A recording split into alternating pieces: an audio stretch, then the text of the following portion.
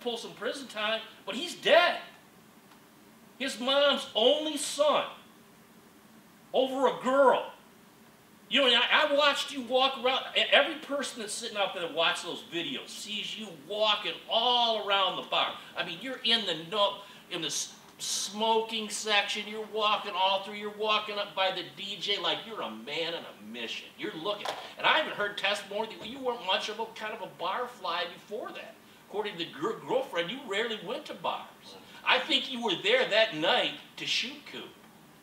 I think that was the plan all along. I don't think Coop even had a gun. And, and, of course, we'll never know that anyway. But it, it's one of those kind of things that I'm thinking of. Well, well, is this a little bit mitigated second-degree murder?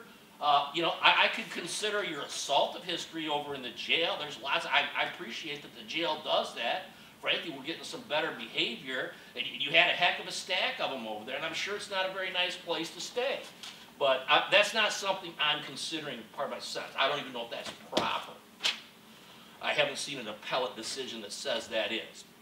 But what I, what I am doing is I've sentenced you to the max of count one, second degree murder, 25 years to 50 years in the Department of Corrections with 222 days. Count two, weapons felony firearm charge, two years. You've already got 730 days squared away, essentially that one's served. But you got another 25 years. You owe the state, you owe the family for your, your actions of what I'm not unconvinced wasn't even premeditated murder. And I, I, I certainly don't think it's mitigated. I don't think it's a middle of the range sentence. I think there were some aggravating circumstances, in particular when you fled the crime scene, not only with a murder weapon, but any realistic opportunity to determine from your perspective whatever occurred.